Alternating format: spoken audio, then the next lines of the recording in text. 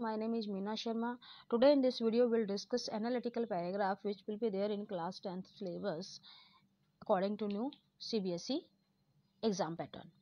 Let's discuss. An analytical paragraph is a form of descriptive writing which is written on the basis of a given chart, graph, data, outline, clues, table etcetera जो एक analytical paragraph होता है वो एक descriptive writing का यानी जिसमें हम किसी चीज़ का डिस्क्रिप्शन दे दें उसका एक पार्ट होता है विच इज़ रिटन जो लिखा जाता है ऑन द बेसिस किस किस चीज़ के आधार पर लिखा जाता है on the basis of given chart या कोई चार्ट दिया होता है ग्राफ दिया होता है डाटा है कोई आउटलाइन है या क्लूज या टेबल दी हुई होती है डेटाज की उसके अकॉर्डिंग इसको बेसिस पर इसको लिखा जाता है। एनालिटिकल यानी कुछ विश्लेषण करते हुए विश्लेषण दिखाते हुए। व्हेन राइटिंग एनालिटिकल पैराग्राफ जब एक एनालिटिकल पैराग्राफ लिखा जाता है वन शुड रिमेंबर हर व्यक्ति को याद रखना चाहिए to describe the facts in the best possible manner mean जितने अच्छे से जो दिए गए हैं क्लूज उसी को देखकर उन्हें अच्छे से डिस्क्राइब करें। And to cover the information provided जो इन्फॉर्मेशन दी गई है, उसको अच्छे से कवर अप करें। The analytical paragraph has to be written in around 100 to 120 words. This is only a 5 marks. तो जो analytical paragraph है उसकी जो word limit होती है वो 100 to 120 words तक की होती है the paragraph must be uh, must use clear and crisp language along with providing complete details of the chart given in the question. Question में जो chart, table, clues दिए गए हैं उनके basis पर बहुत ही क्लियर कट लैंग्वेज में एक्यूरेट लैंग्वेज में लिखा जाना चाहिए और डिस्क्रिप्शन मीन जो भी इंफॉर्मेशन दी गई है, वो पूरी तरह से डिटेल में इनको डिस्क्राइब किया जाना चाहिए। There will be an internal choice और इनके लिए एक इंटरनल चॉइस भी होती है means two question are then out of this two you have to attempt only one you need to attempt one question out of two question दो question होते हैं एनालिटिकल पैराग्राफ से रिलेटेड उस पर choice होती है और ये क्वेश्चन होता है फाइव मार्क्स का means you have to attempt one question internal choice is there now see features of an analytical paragraph writing एक एनालिटिकल पैराग्राफ के जो राइटिंग है कंपोजिशन उसके जो मेन फीचर्स हैं या मेन कैरेक्टरिस्टिक्स क्या हैं let's discuss those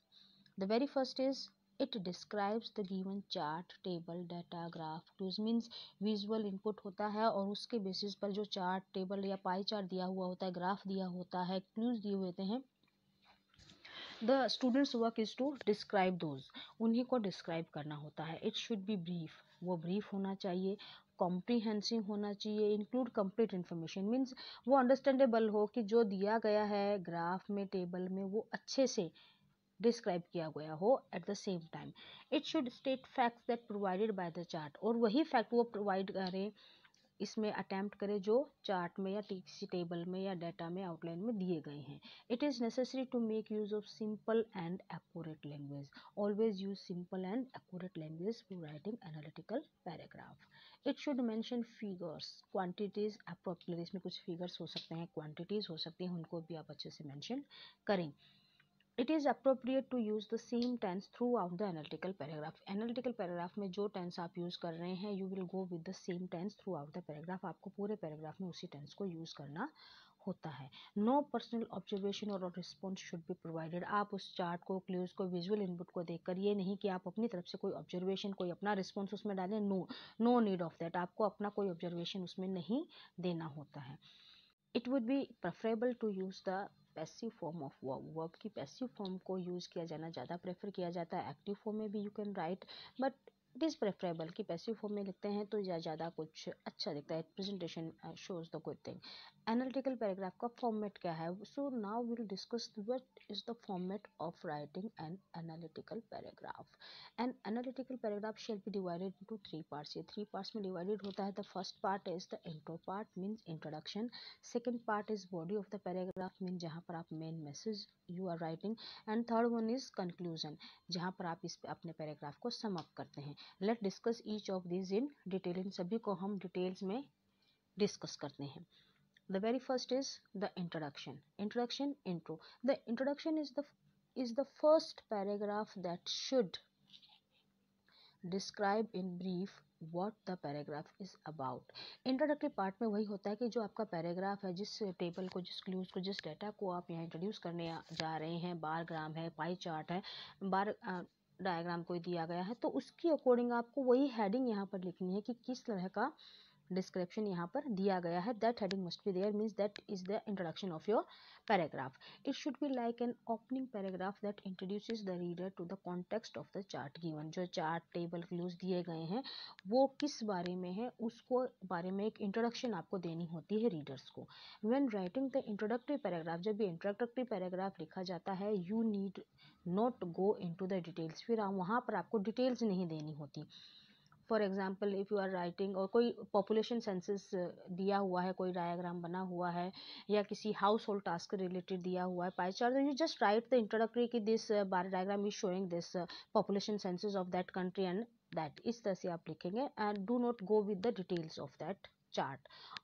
and it is the best to write the introduction in one or two lines mean one or two line में ही आपको इंट्रोडक्शन कंप्लीट करनी होती है. Second the body of the paragraph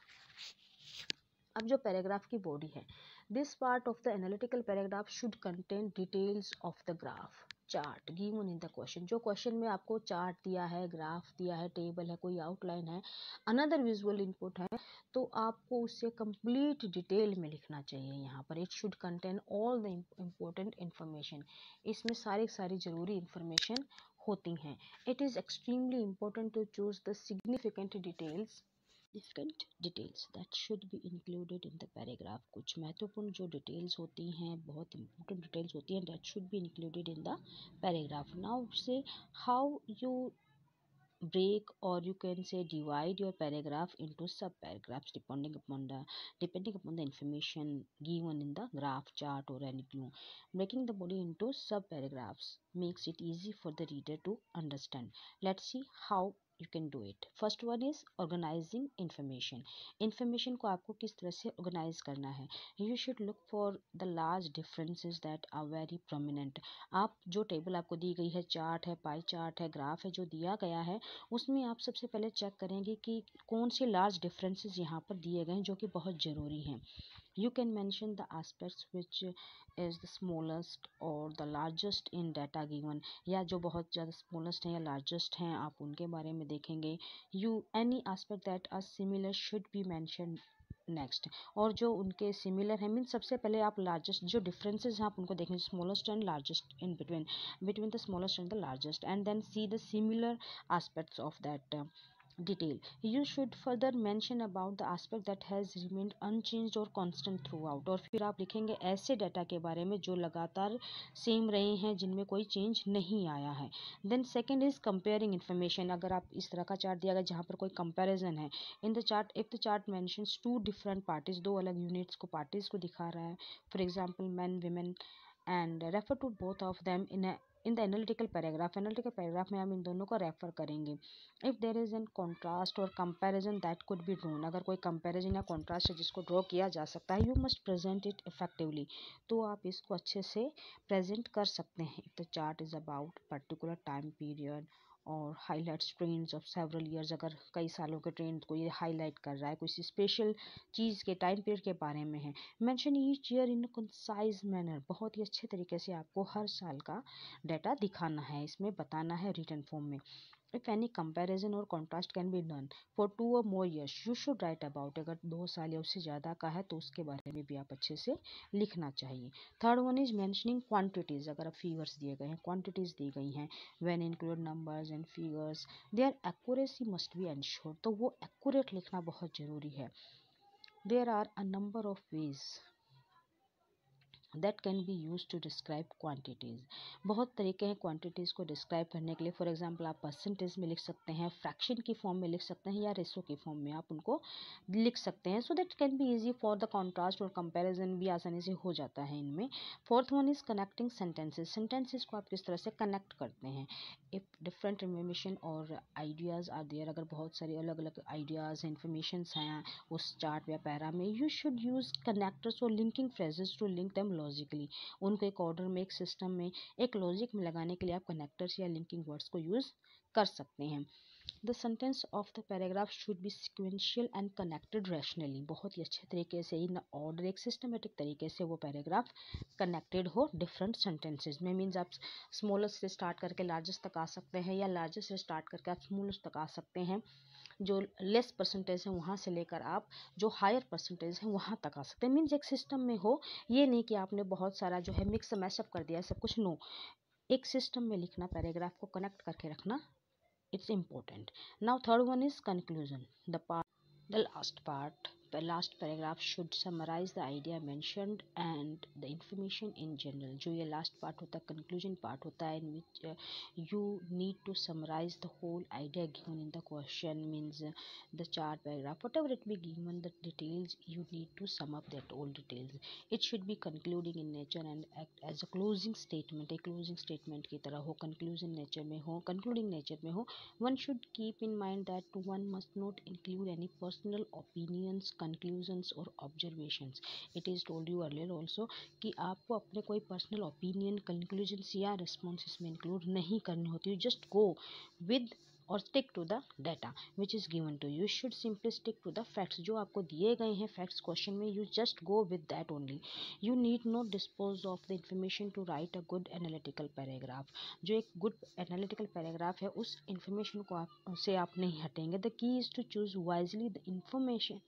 important information organise it well state correct facts and summarise it properly आपका सबसे ज़रूरी चीज़ क्या है कि आपको इन्फॉर्मेशन को देखना है, कौन सी ज़रूरी इन्फॉर्मेशन है उस गिवन क्वेश्चन के चार्ट में पैराग्राफ में टेबल में डेटा में आउटलाइन में क्लूज़ में। इसको फिर आपको ऑर्गेनाइज करना है, जो करेक्ट फैक्ट्स हैं उनको आपको लिखना है और फिर इसको अच्छे से समअप कर देना है।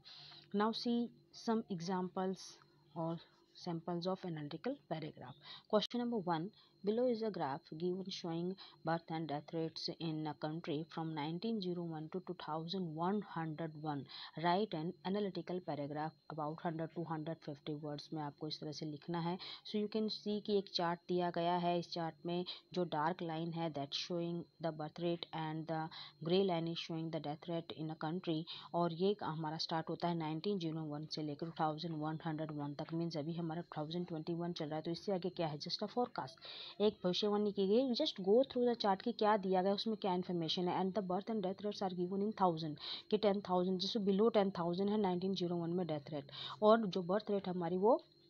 ट्वेंटी थाउज़ेंड के राउंड है। तो ये लास्ट हमारा जाता है सेवेंटी मीन सिक्सटी फाइव या सिक्सटी एट तक हमारी थाउज़ेंड पहुँच जाती है, जो हाइक आता है एक बर्थ रेट में। तो उसके अकॉर्डिंग हमें इसी चीज़ को क्या करना है, अपने पैराग्राफ में समअप करना है, लिखना है कि जो डिफरेंस है लार्जेस्ट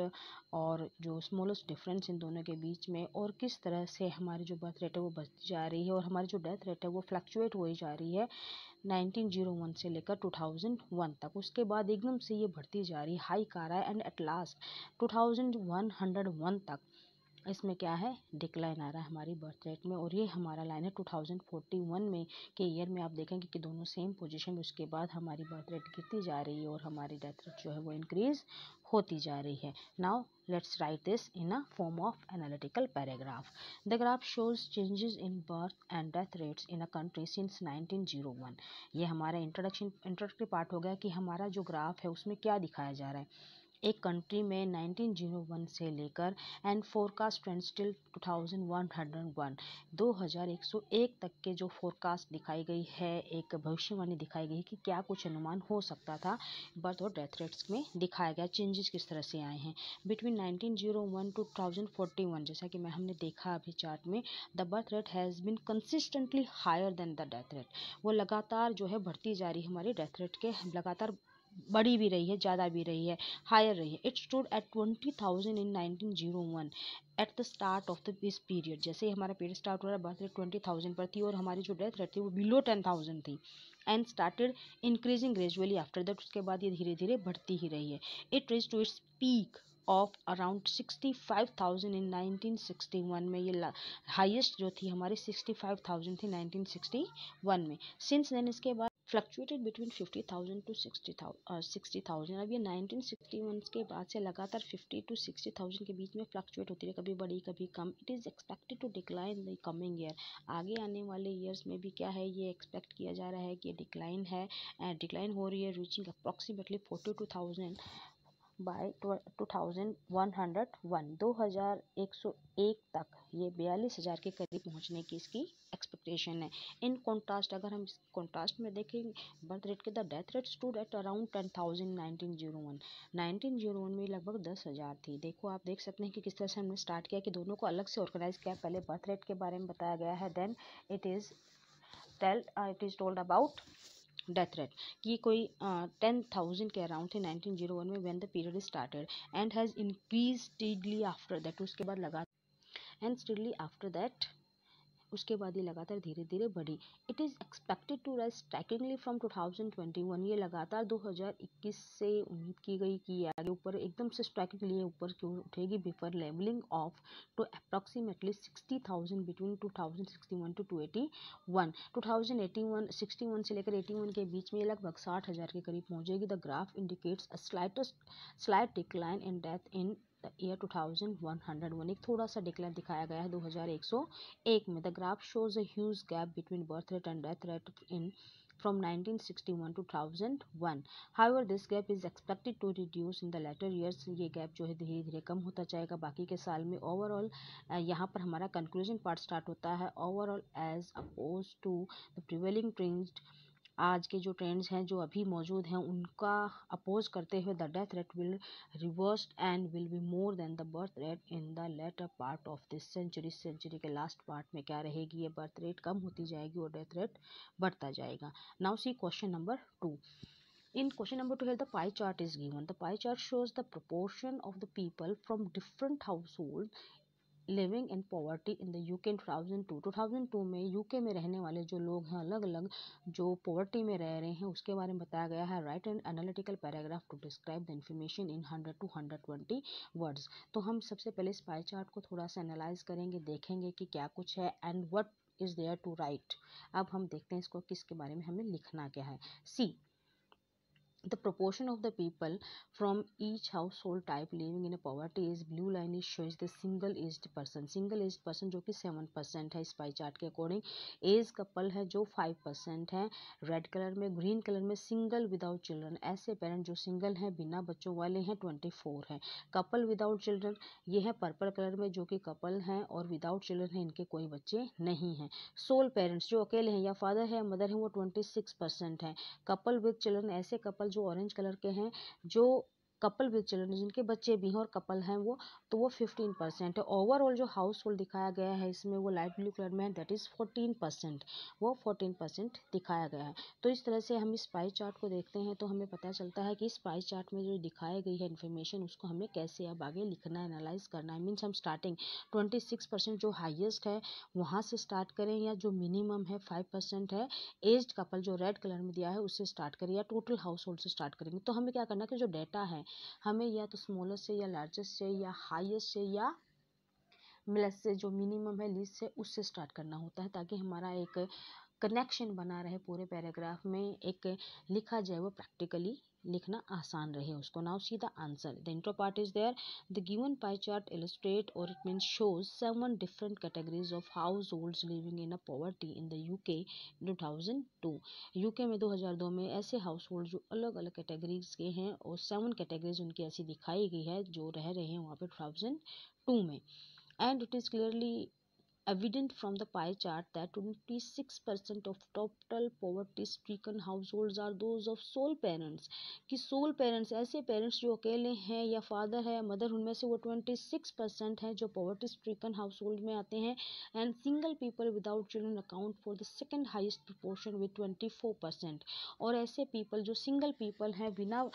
विदाउट चिल्ड्रन वाले बच्चे हैं वो हाईएस्ट सेकेंड हाईएस्ट प्रोपोर्शन में वो है 24% according to pie chart in contrast to couple देखो, आपको you just stick to the information given to you और प्रोवाइडेड टू यू आपको अपनी तरफ़ से कोई ओपिनियन कोई ऑब्जर्वेशन यहाँ नहीं रखना है. In contrast to couple without children जो ऐसे कपल हैं जिनके बच्चे नहीं हैं without children that accounts for just nine percent couple with children count for fifteen percent couple with children are fifty percent and nine percent ऐसे जो without couple है they are poverty stricken of the poor household single aged person and age couples proportion अब जो single age person है और जो age couples हैं, उन दोनों का प्रोपोर्शन अगर मिला दिया जाए it becomes twelve percent together for poor household overall अब इसका कंक्लूजन पार्ट आता है fourteen percent of all household in the U K were living under poverty लगभग 14 परसेंट हाउस होल्ड जो है वो गरीबी में रहते हैं। The younger generation had a greater poor percentage than their aged counterparts जो एज्ड काउंटर पार्ट उनके मुकाबले यंगर जनरेशन ज़्यादा पुअर है। Couples without children have better economic condition than those with children ऐसे कपल जिनके बच्चे नहीं हैं, उनकी इकोनॉमिक कंडीशन कुछ बेहतर है। उन लोगों के मुकाबले दोज हु हैव चिल्ड्रन ऐसे कपल जिनके बच्चे हैं। Now see question number three a table is given there The following table shows details about the internet activities for six categories for different age groups. अलग अलग six age groups यहाँ पर दिखाए गए हैं जो कि हमारा इंट्रो पार्ट बनाएगा कि इंटरनेट एक्टिविटी वो किस तरह से यूज़ करते हैं for different age groups write and analytical paragraph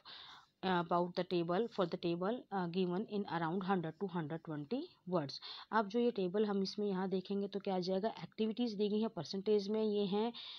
get news online games downloads product research buying a product and searching for people कि ये लोग, ये सिक्स कैटेगरीज दी गई हैं और अलग अलग एज ग्रुप्स हैं, जैसे कि टीन्स हैं ट्वेंटीज़ के थर्टीज़ के फोर्टीज़ के फिफ्टीज़ के सिक्सटीज़ के और सेवेंटी प्लस लोग हैं जो यहाँ दिए गए हैं। वो कितना टाइम स्पेंड करते हैं परसेंटेज में? मीन्स गेटिंग न्यूज़ टीन जो है सेवेंटी सिक्स परसेंट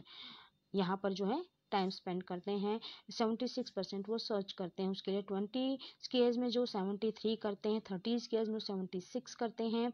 फोर्टीज़ के एज वाले सेवेंटी फाइव करते हैं फिफ्टीज़ के एज वाले सेवेंटी वन मीन्स हाइएस्ट आप अगर आप इसमें से मानकर चलो तो सेवेंटी सिक्स है जो टीन्स करते हैं और थर्टीज़ की एज में है जो पर्सन वो करते हैं। अब ऑनलाइन गेम्स की बात करें तो एट्टी वन परसेंट जो सबसे ज़्यादा है बाकियों का प्रपोर्शन इतना जानिए हाइएस्ट प्रपोर्शन जो है ऑनलाइन गेम्स खेलने का टीन्स का है। जहाँ पर वो इंटरनेट पर अपना टाइम स्पेंड करते हैं। एक्टिविटी में टीनेजर हैं, वो सबसे ज़्यादा टाइम स्पेंड करते हैं इंटरनेट एक्टिविटी ऑनलाइन गेम्स में। देन डाउनलोडिंग कितने करते हैं fifty two percent teenagers and twenties के forty six percent and thirty twenty seven में जो लिस्ट है, उसमें सेवेंटी प्लस जो सिक्स परसेंट ऐसे पीपल हैं जो टाइम स्पेंड करते हैं डाउनलोडिंग में, उस हाईएस्ट जो परसेंटेज आएगा, वो रहेगा फिफ्टी टू परसेंट जो टीनेजर्स करते हैं डाउनलोडिंग इंटरनेट एक्टिविटी जो सबसे ज़्यादा करते हैं। देन प्रोडक्ट रिसर्च चीज़ों को ढूँढने का काम करते हैं। टीन्स वो ऐसा काम कोई भी नहीं करते हैं। एंड एट्टी परसेंट थर्टीज़ के एज वाले पीपल हैं जो प्रोडक्ट को रिसर्च करते हैं इंटरनेट पर। ट्वेंटीज़ के एज वाले और फिफ्टीज़ के एज वाले भी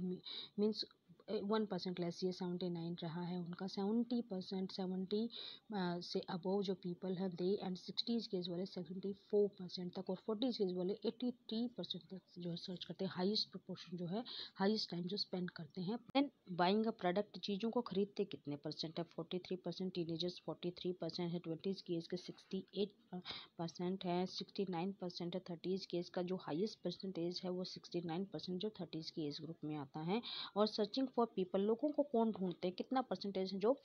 लोगों को ढूँढने पर इंटरनेट एक्टिविटी पर लोग टाइम स्पेंड करते हैं? टीनेजर्स का सिर्फ़ फाइव परसेंट है और हाईएस्ट है जो सिक्सटी प्लस जो एजेस है सिक्सटीज़ के एज के पर्सन है, वो ट्वेंटी नाइन परसेंट इनको एक्टिविटी करते हैं टाइम स्पेंड करते हैं इंटरनेट के ऊपर सर्च करने में पीपल को। तो ये जो टेबल दी गई है, इस टेबल के ऊपर हमें क्या करना है? एक एनालिटिकल पैराग्राफ लिखना है। Let start with the paragraph The given table suggests the internet activities of seven age of seven age groups, ranging from teens to those in their 70s for six different kinds of activities. Intro part हो जाएगा हमारा कि जो ये table है, वो हमें क्या बताती है क्या इंडिकेट करती है। इंडिकेट करती है इंटरनेट एक्टिविटी जो डिफरेंट यानी सेवन एज ग्रुप ऐसे बनाए गए हैं। टीन से लेकर सेवेंटी प्लस पीपल लोगों का एज ग्रुप बनाया गया जो इंटरनेट पर अलग अलग तरह की एक्टिविटी करते हैं और अपना टाइम स्पेंड करते हैं।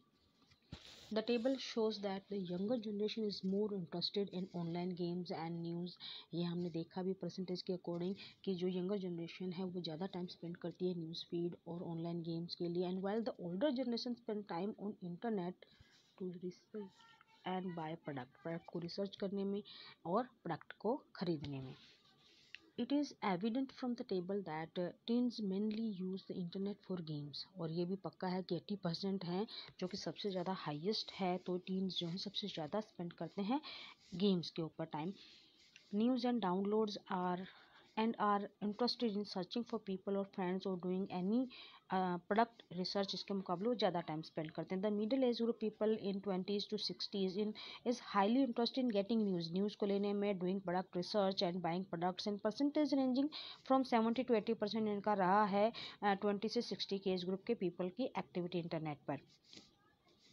The internet activity which gets the least time is in searching for people सबसे कम एक्टिविटी जो की जा रही है सर्चिंग पीपल्स जो बहुत कम है the age group spend less than thirty percent of the internet time on the same on the same the amount of time spend on download decrease with the age gets age low age sixty percent for people in seventies Now, the conclusion of the paragraph is, overall, the table suggests that the teenagers are most likely to spend time playing games and doing downloads. In downloading और game खेलने में सबसे ज़्यादा time spend करते हैं teenagers on the other side older people are interested in researching and buying products and people spend the least amount of time searching for other people online लोगों को ढूँढने में सबसे ज़्यादा काम, कम एक्टिविटी जो है इंटरनेट पर की जाती है, सबसे कम समय इंटरनेट पर स्पेंड किया जाता है। लोगों को सर्च करने का जो काम है, वो ऑनलाइन होता है सबसे कम। Now question number 4. The given chart shows the division of household task by gender in Great Britain. Great Britain में जो household task किया जाता है उसको दिखा रहा है ये write an analytical paragraph describing the chart in not more than 100 to 120 words. अब यहाँ पर देखो फिर से एक division of household task दिया गया है by gender in Great Britain. यहाँ पर किस तरह से दिया गया है वी सी इट की मेल्स के लिए रेड लाइन है रेड बार्स हैं और फीमेल्स के लिए ब्लू कलर का लाइन है। तो यहाँ पर हर जगह हम फीमेल का नंबर हायर देखते हैं कि वो कितना मिनट, कितना टाइम ज़्यादा स्पेंड करते हैं। तो यू कैन सी की टेबल में दिखाया गया कि थर्टी परसेंट जो टाइम स्पेंड किया जाता है कुकिंग, बेकिंग और वॉशिंग अप में सबसे ज़्यादा थर्टी मेल्स के लिए, वो है उनका थर्टी मिनट। और फीमेल्स इसी काम के ऊपर सेवेंटी फोर मिनट स्पेंड करती हैं। Then thirty percent time is spending on cleaning house and tidying the things और यहीं पर 58 मिनट टाइम स्पेंड करती हैं females and then 49.5 minutes are spend by gardening and pet care यहाँ पर mails की संख्या ज़्यादा है, थोड़ी यहाँ पर मेल काम ज़्यादा करते हैं मीन्स गार्डनिंग का काम है पेट की पेट्स की केयर पेट केयर में सबसे ज़्यादा टाइम स्पेंड करते हैं मेल्स और फीमेल्स यहीं ट्वेंटी वन पर ट्वेंटी वन मिनट स्पेंड करते हैं। तो इसी तरह से जो टाइमिंग्स दी गई उसके अकॉर्डिंग हमें क्या करना है? एक एनालिटिकल पैराग्राफ लिखना है। So let's start writing the paragraph. The chart information about the the of household task by gender in Great Britain Great Britain में ये हमारी इंट्रो हो जाए ग्रेट ब्रिटेन में किस तरह से हाउस टोस हाउस होल्ड टास्क किए जाते हैं अलग अलग जेंडर्स के द्वारा मीन्स मेल और फीमेल्स किस तरह से वो काम करते हैं and the number of minutes per day spend by both males and as well as females in doing various task अलग अलग टास्क करने में मेल्स और फीमेल्स किस तरह से टाइम स्पेंड करते हैं डिफरेंट ऑन एवरेज अगर हम एवरेज मानकर चलें women spend approximately four hours during the household task लगभग चार घंटे बिताती हैं घर का काम करने में where is man spend less than two and half hours for the same और उसी काम के लिए जो मैन हैं, वो बताते हैं टू एंड हाफ़ आवर से भी कम समय। The task on which women spend more time than man including include cooking cleaning the house taking care of the children and you can say laundry तो इस तरह का काम है जो वीमेन ज़्यादा टाइम स्पेंड करती है इस तरह के कामों पर and in doing all this task और ये सारा काम करने में Women spend approximately 200 minutes, which is almost three times the time spent by men in accomplishing these tasks. वे जो women जो men इस काम को करते हैं तो वो उससे तीन गुना ज़्यादा समय लेती हैं women लगभग 200 minutes in doing this task. On other hand, men spend twice the time than women in doing tasks like gardening and maintenance of odd jobs in the house. जो घर के odd jobs हैं pet care करना है gardening का काम है उसमें men जो है दुगना समय लगाते हैं women के मुकाबले men spend majority of their time almost 50 minutes in gardening लगभग 50 मिनट बिताते हैं वो gardening करने में pet care करने में whereas women spend only 30 minutes for these tasks. The time spent by men in washing, ironing and sewing clothes is as low as as 2 minutes per day as opposed to 25 minutes spent by women. जो काम है, जैसे कि washing का है iron का काम है क्लोथ्स को स्विंग क्लोथ्स का काम है तो इसमें मेन से टू मिनट स्पेंड करते हैं, जबकि औरतें ट्वेंटी फाइव मिनट्स यहाँ पर स्पेंड कर देती हैं। इन नट शेल अगर हम कंक्लूजन करें इसका तो women spend more far more time when it comes in doing household chores जब अगर घर के काम करने की बारी आती है तो वीमेन जो है, ज़्यादा समय स्पेंड करती हैं। Then man who do prefer who prefer to do gardening pet care and maintenance of और जब जो मैन है, वो ज़्यादा प्रेफर करते हैं गार्डनिंग करना पेट की केयर करना पेट्स की केयर करना और मेंटेनेंस ऑफ़ और जॉब जो अलग तरह की जॉब्स होती हैं, उनको काम करने में वो ज़्यादा समय स्पेंड करते हैं। Plus here the video analytical paragraph with the examples is completed watch the video carefully like share comment and subscribe and always remember that while writing analytical paragraph you just stick to the information which is provided to you in the question आप इसी को ध्यान से देखेंगे उसी को आप लिखेंगे एक प्रेसी मैनर में आप पैराग्राफ को डिवाइड भी कर सकते हैं और you can write in a single paragraph just go with the